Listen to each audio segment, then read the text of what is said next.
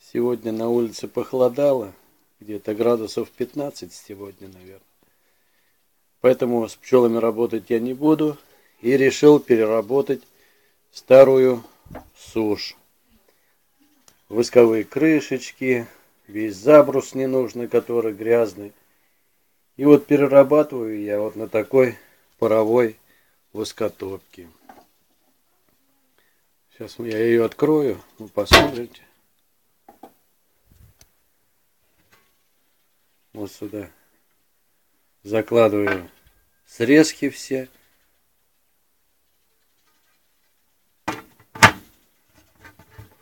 Потом закрываю. И включаю газ. И начинается процесс.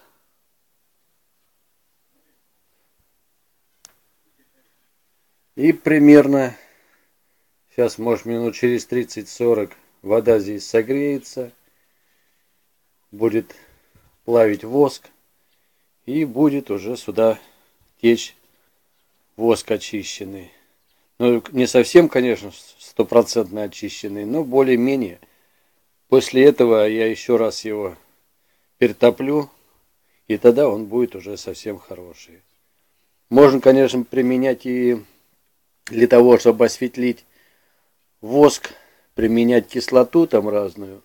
Но я сам лично никогда не делал. Не, пробовал, конечно, как на испытании так делал.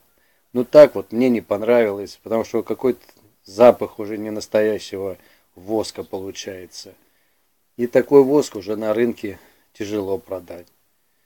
Сдать, конечно, можно в пчеловодческий магазин.